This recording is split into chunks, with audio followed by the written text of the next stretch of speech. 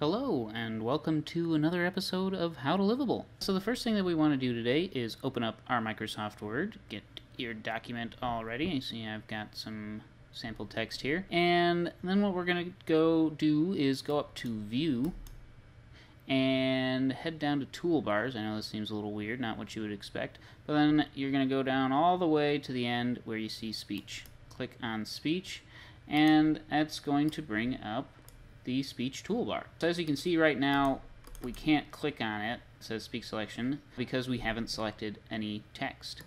So we want to highlight some of the text, some or all, uh, if that's what you want, and then now this becomes clickable.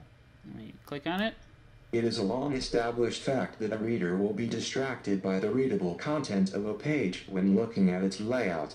The and we get that lovely computer voice speaking to us. And so that is how you use the text to speech function in Microsoft Word for Mac in MS 08. So yeah, and that's pretty much it. Pretty simple. If you have any questions, leave them in the comment section for me. If you like this video, click the little thumbs up guy. And if you want to see more videos just like this, subscribe to our channel because we have new videos coming out almost every week, which is great.